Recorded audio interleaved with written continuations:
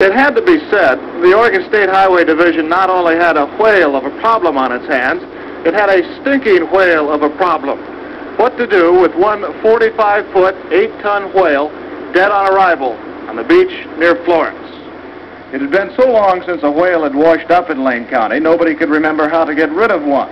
In selecting its battle plan, the Highway Division decided the carcass couldn't be buried because it might soon be uncovered, it couldn't be cut up and then buried because nobody wanted to cut it up, and it couldn't be burned.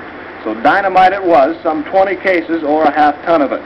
The hope was that the long-dead Pacific gray whale would be almost disintegrated by the blast, and that any small pieces still around after the explosion would be taken care of by seagulls and other scavengers. Indeed, the seagulls had been standing nearby all day. As everything was being made ready, we asked George Thornton, the highway engineer in charge of the project, for his final observation.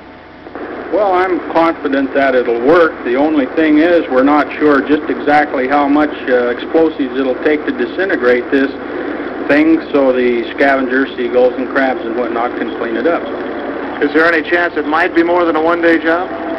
Uh, if there's any large chunks left, and uh, we may have to do some other cleanup, possibly set another charge. The dynamite was buried primarily on the leeward side of the big mammal, so as most of the remains would be blown toward the sea.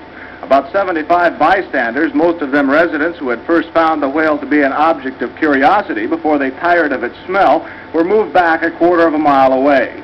The sand dunes there were covered with spectators and landlubber newsmen, shortly to become land blubber newsmen, for the blast blasted blubber beyond all believable bounds. You get a wild?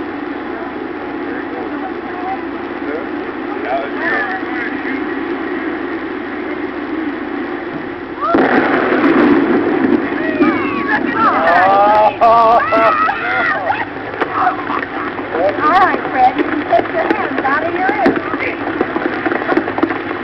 Here comes pieces of... Our camera stopped rolling immediately after the blast. The humor of the entire situation suddenly gave way to a run for survival as huge chunks of whale blubber fell everywhere.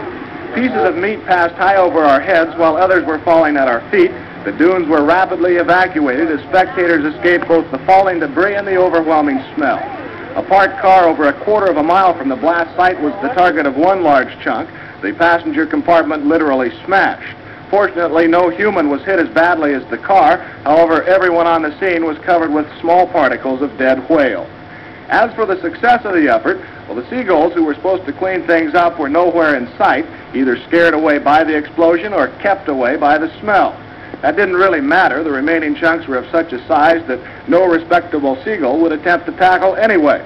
As darkness began to set in, the highway crews were back on the beach burying the remains, including a large piece of the carcass which never left the blast site. It might be concluded that should a whale ever wash ashore in Lane County again, those in charge will not only remember what to do, they'll certainly remember what not to do.